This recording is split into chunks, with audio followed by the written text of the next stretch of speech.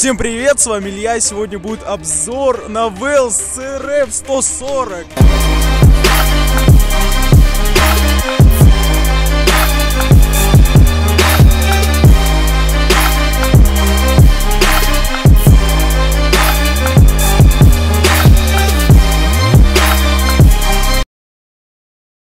Это яркий, дерзкий новый питбайк Wells CRF 140. Будь вы новичком или продвинутым райдером, по достоинству оцените богатую комплектацию нашего нового байка. Хотите рассекать городские улицы и проспекты в комплекте фары головного света и подготовка под установку сигналов поворота. Двеска приятно удивит любого райдера. Мотоцикл оборудован передней перевернутой вилкой, Карбюратор Микуни ВМ-22, а задний ароматизатор достоин отдельного внимания. Это ДНМ, проверенный временем и заслуженный отличную репутацию среди мотоциклистов. Питбайк уже укомплектован всем необходимым. В базовую комплектацию входит моточасы, пакет CNC деталей.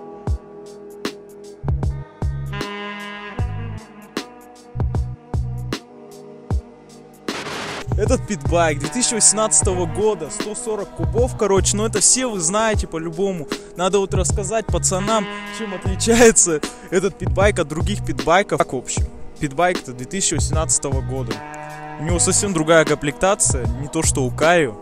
У Кая, конечно же, она вот такая себе, а тут, блядь, вообще богатая очень комплектация. И стоит он сколько стоит? 70 косарей этот стоит питбайк на данный момент. Начнем с колес и пойдем вверх потихоньку. Значит, тормоза задние. Если сравнивать его с Каю и с Ирбисом, значит, тут стоят двухпоршневые тормоза, а на Каю стоят однопоршневые, и на Ирбисе тоже. Значит, дальше стоит тут защита главного тормозного цилиндра. На Ирбисе такая, только она пластиковая. Идем дальше. Дальше по переднему тормозу у нас тоже двухпоршневые стоят тормоза. То есть на Ирбисе и на Каю такие же тормоза передние стоят, только отличаются задние пока что. Ну бросается в глаза тут, значит, колеса уже покрашены с завода в белый цвет. Никакой не колхоз, вы не подумайте. Там то, что мы колхозники деревенские, красим тут колеса, нам делать типа нехуй. Ну это так, ну, блядь, нам делать нехуй, мы, короче, с завода это уже идет, вот. Стоит тут золотая цепочка 428, тут вот даже пленочка есть то, чтобы не раскручивались болтики на звезде. Кто вы улетите в кювет. В общем, стоит тут пластик, это Велс... Велсик, блядь, Велсиковский. Это пластик, вот это их родной пластик. Ихняя расцветка. Идут они в красном, зеленом, синем цвете. Вот у нас красный. Рама тоже красная. Рама, кстати, отличается очень сильно от Каю и от Ирбиса. Ну, про Ирбиса вообще можно промолчать про ихнюю раму. Это почти говно, по сути. А Каю более-менее еще. В общем, рама у них тоже другая. Ну, вроде по швам ничего так. Ну, в общем, посмотрим.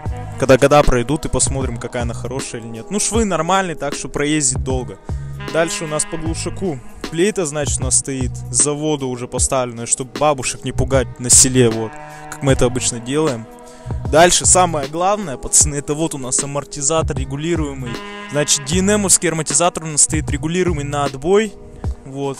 Ну и нажатие, там пружины, вот вся хуйня. Но это есть на Каю и на Ирбисах. Золотые перья идут, пока не текут, значит все нормально, проездит долго. Крышка, крышка железная с этой пимпочкой, ну, отвод газов, как он называется, вот. Дальше, значит, у нас стоит э, лапка КПП, уже с завода такая стоит, красненькая, вот, красивенькая, не то что на Ирбисах и Каю. Вот, я просто других питбайков больше не знаю, так что не знаю, с чем сравнивать. Значит, дальше у нас стоит Микуни VM22, очень хороший карбюратор, не то что на Каю и на Ирбисах. Вот, значит, что тут у нас этот подсос, говнос, там всякая хуйня, вот. И этот фильтр, фильтр, вот, нулевик обычно, но это на всех питбайках ставят. Бак у нас стоит на 4 литра, моточасы, моточаса, короче, накатано. Значит, по рулю у нас стоят откидывающиеся ручки, вот, тут тоже стоят. Так, фара, ну, вместе с комплектацией дают еще щиток обычный. То есть без фары можно ее поставить. Так круче выглядит, не понимаю, блядь. Зачем ставят вообще на питбайке фары? Ну, видимо, чтобы по ночному селу ездить, чтобы видно всех было, вот. Дальше у нас стоит э, замок зажигания, вот ключик, чик туда-сюда поворачивается, вот. Пленочки даже еще. Это выключатель фары, это глушить двигатель, подушка, вел, все круто. И грипсы красненькие, вот. В общем, крутой питбайк. Что на Каю, что на Вэл стоят одинаковые моторы 140 кубов, 12 лошадей, 12-13 где-то. Вот, в принципе, тут ничем не отличается, кроме крышек. Wells, с той стороны тоже Wells написано, вот. На сидушке у нас тоже написано Wells, в общем, везде Wells. Значит, масляный радиатор, шланчики в этот, в башку идут, ну, охлаждать, типа, двигатель, он очень сильно нагревается от покатушек наших сельских, вот. В общем, питбайк этот похож на Каю, в принципе, блин, да, все питбайки, они похожи на друг друга, просто каждый сует что-то новенькое, каждая фирма сует что-то свое. Так вот мы, короче, переместились уже в гаражи. Вот Каю, вот Велс. Видите, какая разница, но тут и колеса разные. 12-14 вот на Каю стоит, тут, значит, 17-14.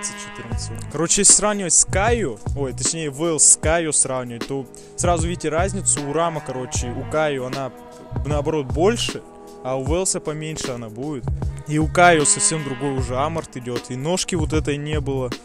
И ручек, тут вообще уже вот этот Каю жизнь повидал, а вот это еще маленький не повидал. Значит, Каю это просто боевой, блядь, аппарат, можно в нем въебываться хоть куда, а Велс это просто для покатушек, так по лесу потихонечку, просто не раздавать ничего. Вот на этом можно валивать просто спокойно. Это вот 140, вот моторы, посмотрите, у них ничем не отличают. И передачи у них также все вверх. Каю на Велсе стоят э, Микуни ВМ-22 также, только у них выносы получаются у Каю, блин, он в раме где-то стоит, а у Велса он выходит в наружу, так скажем. Цепь тут стоит 420 у Каю, а на Велсе 428 как мы говорили, и глушаки у них. Вот глушак у Велса, а вот глушак у Каю.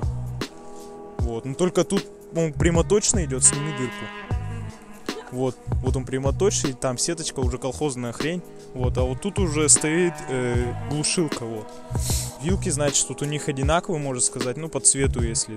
То, что у этого золотая, у этого золотая. Только тут стоят клапана, сброс воздуха у них есть. Тут, значит, на Каю его нет. Ну, также тут замок приколхоженный уже, там не приколхоженный. Про глушаки еще. Вот у этого прямоток стоит, он валит и орет как бешеный, потому что это боевой. А вот у этого заглушен, ой, блядь, заглушен двигатель, вот, вот этой херню. Ее можно снять и будет он орать тоже как бешеный. Так, ну вот как работает Каю и вот как работает Велс. Вот, послушай. Каю, вот, вот просто вообще не